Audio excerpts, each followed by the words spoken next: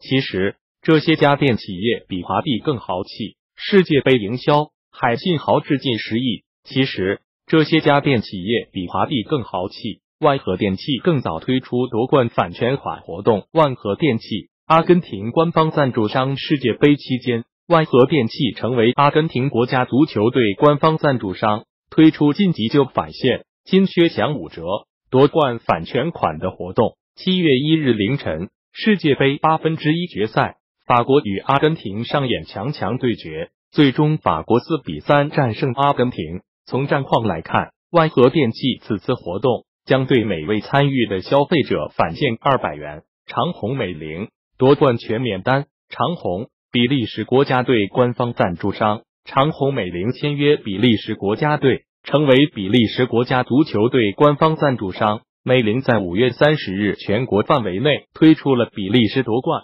M 先生免单的活动，凡消费者购买美菱 M 先生冰箱六百三十九升、六百四十五升、六百六十升三款产品，比利时国家队进八强打八折，进决赛享半价，夺冠军全免单。购买其他型号 M 先生冰箱，若比利时国家队夺冠，则返现一千元。据悉。在比利时队晋级八强的当天，长虹美菱就开始兑现返现承诺，成为家电业第一家向消费者兑现的品牌。海信豪掷近十亿，海信俄罗斯世界杯一级赞助商，海信拿到世界杯二级赞助商的花费接近一亿美元。根据资深家电 IT 行业分析师梁振鹏判断。海信在世界杯营销上的花费在十亿元，而这个费用已经相当于海信二零一七年九点四二亿元的净利润。这些大手笔有没有惊到你？为何他们投入了更多的钱，